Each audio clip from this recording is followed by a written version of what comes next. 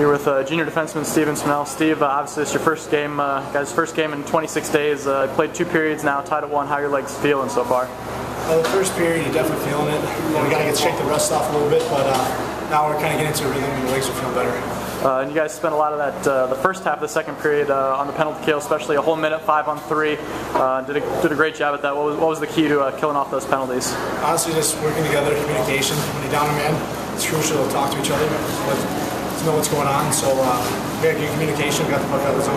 Uh, one more question. Uh, at one, uh, going to third period. What's it going to take to pull this one out? We're just going to stay disciplined, stay in the box, and just play five on five because we're doing well with that. All right, thanks.